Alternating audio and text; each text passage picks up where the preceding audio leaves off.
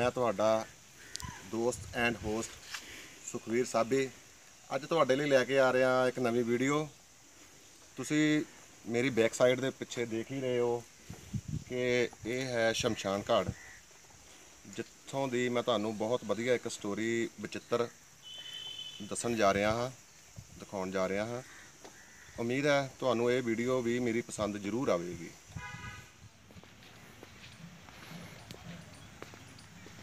ਦੋਸਤੋ, ਤੁਹਾਨੂੰ ਮੈਂ ਇਹ ਸਟੋਰੀ ਦੱਸਣ ਤੋਂ ਪਹਿਲਾਂ ਇੱਕ ਗੱਲ ਯਾਦ ਕਰਾਉਣੀ ਚਾਹੁੰਦਾ ਹਾਂ ਕਿ ਜੇ ਤੁਸੀਂ ਸਾਡੇ ਚੈਨਲ ਤੇ ਨਵੇਂ ਆਏ ਹੋ, ਤਾਂ ਪਲੀਜ਼ ਸਾਡੇ ਚੈਨਲ ਨੂੰ ਜ਼ਰੂਰ ਸਬਸਕ੍ਰਾਈਬ ਕਰੋ ਤਾਂ ਜੋ ਅਸੀਂ ਅਜਿਹੀਆਂ ਹੀ ਹੋਰ ਵੀ ਵੀਡੀਓ ਲੈ ਕੇ ਤੁਹਾਡੇ ਰੂਬਰੂ ਹੋਈਏ।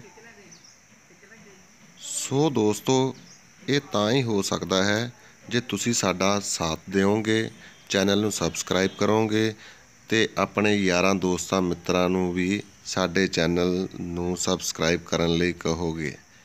ਕਿਉਂਕਿ ਇਕੱਲਾ ਇਨਸਾਨ ਕੁਝ ਵੀ ਨਹੀਂ ਕਰ ਸਕਦਾ ਔਰ ਤੁਸੀਂ ਸਾਡਾ ਸਾਥ ਦਿਓਗੇ ਤਾਂ ਹੋ ਸਕਦਾ ਹੈ ਅਸੀਂ ਤੁਹਾਡੀਆਂ ਉਮੀਦਾਂ ਤੇ ਖਰੇ ਉਤਰੀਏ।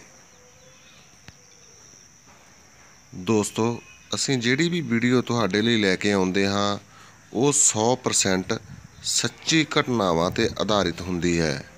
ਉਸ ਵਿੱਚ ਕੁਝ ਵੀ ਝੂਠ, ਤੂਫਾਨ ਨਹੀਂ ਹੁੰਦਾ। ਅਸੀਂ ਸਟੋਰੀ ਜਾਣਨ ਤੋਂ ਪਹਿਲਾਂ ਲੋਕਾਂ ਦੇ ਵਿੱਚ ਵਿਚਰ ਕੇ ਉਸ ਗੱਲ ਨੂੰ ਪੁੱਛਦੇ ਹਾਂ ਕਿ ਇੱਥੇ ਵਾਕਈ ਹੀ ਐਸਾ ਕੁਝ ਹੁੰਦਾ ਹੈ ਕਿ ਜਾਂ ਫਿਰ ਲੋਕਾਂ ਦਾ ਵਹਿਮ ਹੈ। ਚਲੋ ਦੋਸਤੋ, ਤੁਹਾਡੇ ਕੀਮਤੀ ਸਮੇਂ ਦੀ ਕਦਰ ਕਰਦੇ ਹੋਈਏ ਅੱਜ ਦੀ ਸਟੋਰੀ ਤੇ ਆਉਂਦੇ ਹਾਂ। ਦੋਸਤੋ, ਅੱਜ ਅਸੀਂ ਇੱਕ ਪਿੰਡ ਵਿੱਚ ਆਏ ਹਾਂ। ਇੱਥੋਂ ਦੇ ਲੋਕਾਂ ਨੇ ਦੱਸਿਆ ਹੈ ਕਿ ਸਾਡੇ ਸ਼ਮਸ਼ਾਨ ਘਾਟ ਦੇ ਬਾਹਰ ਇੱਕ ਸੜਕ ਜਾਂਦੀ ਹੈ।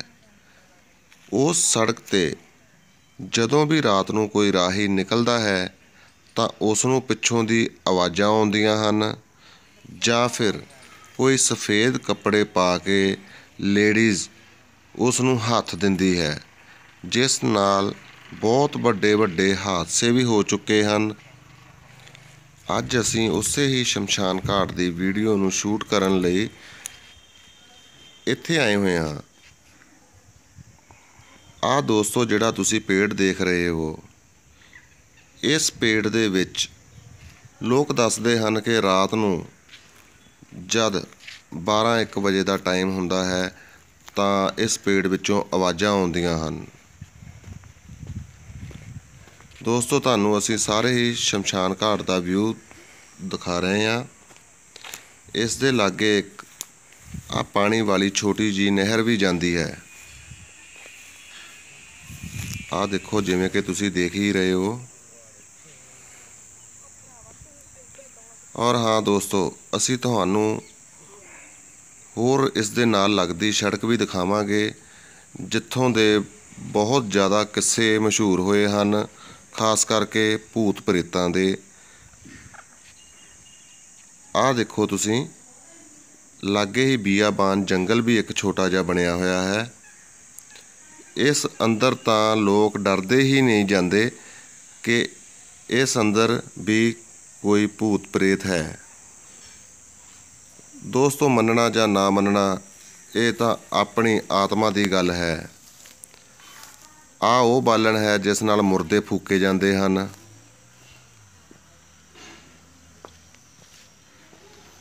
ਹਾਂਜੀ, ਤੁਹਾਨੂੰ ਇੱਕ ਹੋਰ ਚੀਜ਼ ਮੈਂ ਦਿਖਾਉਣ ਜਾ ਰਿਹਾ ਹਾਂ, ਜੋ ਕਿ ਪੁਰਾਣੀ ਆਮ ਦੇਖਣ ਨੂੰ ਨਹੀਂ ਮਿਲਦੀ। ਉਹ ਇਹ ਹੈ ਕਿ ਇੱਥੇ ਇੱਕ ਕੰਡਾ ਲੱਗਾ ਹੋਇਆ ਹੈ। ਇਹ ਕੰਡਾ ਦੋਸਤੋ ਆਮ ਕੰਡਾ ਨਹੀਂ ਹੈ, ਇਹ ਬਹੁਤ ਹੀ ਪੁਰਾਣਾ ਕੰਡਾ ਹੈ। ਅੱਜ ਕੱਲ ਤਾਂ ਇਹ ਦੇਖਣ ਨੂੰ ਵੀ ਨਹੀਂ ਮਿਲਦਾ। ਸੋ ਮੈਂ ਵੀਡੀਓ ਬਣਾਉਣ ਆਇਆ ਸੀ ਇੱਥੇ ਔਰ ਸ਼ੁਕਰ ਹੈ ਮੈਨੂੰ ਇਹ ਕੰਡਾ ਮਿਲ ਗਿਆ। ਸੋ ਦੋਸਤੋ ਇਸੇ ਨਾਲ ਹੀ ਬਾਲਣ ਤੋਲਦੇ ਹਨ, ਜੋ ਇੱਥੋਂ ਉਠਾ ਕੇ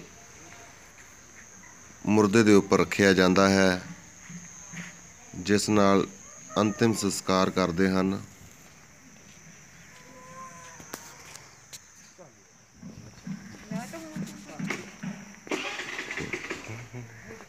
ਆ ਉਹ ਜਗ੍ਹਾ ਹੈ ਜਿੱਥੇ ਮੁਰਦੇ ਸਾੜੇ ਜਾਂਦੇ ਹਨ। ਦੋਸਤੋ, ਮੈਂ ਤਾਂ ਇਸ ਜਗ੍ਹਾ ਦੀ ਵੀਡੀਓ ਸ਼ੂਟ ਕਰ ਰਿਹਾ ਹਾਂ, ਪਰ ਮੈਨੂੰ ਕਈਆਂ ਨੇ ਰੋਕਿਆ ਇਸ ਅੰਦਰ ਵੀਡੀਓ ਸ਼ੂਟ ਕਰਨ ਲਈ।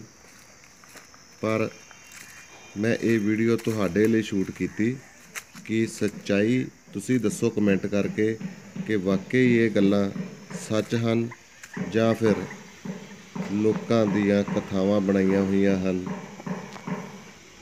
ਬਾਕੀ ਦੋਸਤੋ, ਇੱਕ ਸਿਆਣੇ ਦੀ ਕਹਾਵਤ ਹੈ, ਵਾਹ ਪਿਆ ਜਾਣੇ ਜਾਂ ਰਾਹ ਪਿਆ ਜਾਣੇ।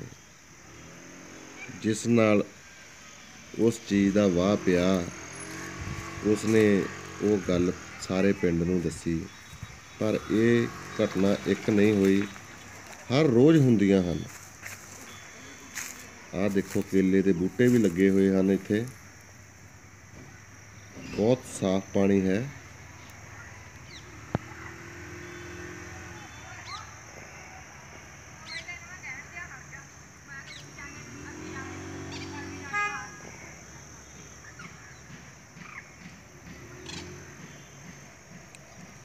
ਦੋਸਤੋ, ਇੱਕ ਗੱਲ ਤਾਂ ਮੈਂ ਦੱਸਣੀ ਭੁੱਲ ਹੀ ਗਿਆ ਤੁਹਾਨੂੰ।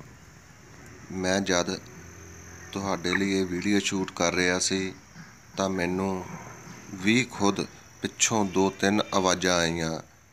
ਤੁਸੀਂ ਮੇਰੀ ਵੀਡੀਓ ਨੂੰ ਦੁਬਾਰਾ ਰਿਪੀਟ ਕਰਕੇ ਦੇਖਿਓ। ਇਹ ਗੱਲ ਮੈਨੂੰ ਉਦੋਂ ਪਤਾ ਲੱਗੀ ਜਦੋਂ ਮੈਂ ਇਸ ਵੀਡੀਓ ਦੀ ਡਬਿੰਗ ਕਰ ਰਿਹਾ ਸੀ। ਲਓ ਜੀ ਦੋਸਤੋ, ਆ ਗਏ ਹਾਂ ਅਸੀਂ ਉਸ ਸੜਕ ਦੇ ਉੱਪਰ, ਜਿੱਥੇ ਲੋਕਾਂ ਨੂੰ ਭੂਤ ਪ੍ਰੇਤ ਨਜ਼ਰ ਆਉਂਦੇ ਹਨ ਅਤੇ ਲੋਕਾਂ ਨੂੰ ਦਿਖਾਈ ਵੀ ਦਿੰਦੇ ਹਨ। ਇੱਕ ਔਰਤ ਜੋ ਕਿ ਸਫੇਦ ਕੱਪੜੇ ਪਾ ਕੇ ਲੋਕਾਂ ਨੂੰ ਰਾਤ ਨੂੰ 12 ਵਜੇ ਤੋਂ ਬਾਅਦ ਦਿਖਾਈ ਦਿੰਦੀ ਹੈ। ਮੰਨਣਾ ਜਾਂ ਨਾ ਮੰਨਣਾ ਇਹ ਤੁਹਾਡੇ ਹੱਥ ਹੈ। ਅਸੀਂ ਤਾਂ ਸਿਰਫ ਤੁਹਾਨੂੰ ਵੀਡੀਓ ਸ਼ੂਟ ਕਰਕੇ ਦਿਖਾ ਰਹੇ ਹਾਂ। ਆ ਉਹ ਸੜਕ ਹੈ ਜਿੱਥੇ ਲੋਕਾਂ ਨੂੰ ਆਵਾਜ਼ਾਂ ਪੈਂਦੀਆਂ ਹਨ ਰਾਤ ਨੂੰ ਅਤੇ ਲੋਕਾਂ ਦੇ ਨਾਲ ਹਾਦਸੇ ਵੀ ਬਹੁਤ ਹੋਏ ਹਨ ਇਸ ਸੜਕ ਦੇ ਉੱਪਰ। ਦੋਸਤੋ, ਜੇਕਰ ਤੁਹਾਨੂੰ ਸਾਡੀ ਵੀਡੀਓ ਚੰਗੀ ਲੱਗੀ, ਤਾਂ ਸਾਡੀ ਵੀਡੀਓ ਨੂੰ ਲਾਈਕ, ਸ਼ੇਅਰ ਜ਼ਰੂਰ ਕਰੋ ਔਰ ਹਾਂ, ਸਾਡੇ ਚੈਨਲ ਨੂੰ ਸਬਸਕ੍ਰਾਈਬ ਜ਼ਰੂਰ ਕਰੋ। ਧੰਨਵਾਦ। ਦੋਸਤੋ, ਮਿਲਦੇ ਹਾਂ ਇੱਕ ਹੋਰ ਨਵੀਂ ਵੀਡੀਓ ਦੇ ਨਾਲ। ਸੋ ਤਦ ਤੱਕ ਲਈ ਬਾਏ ਬਾਏ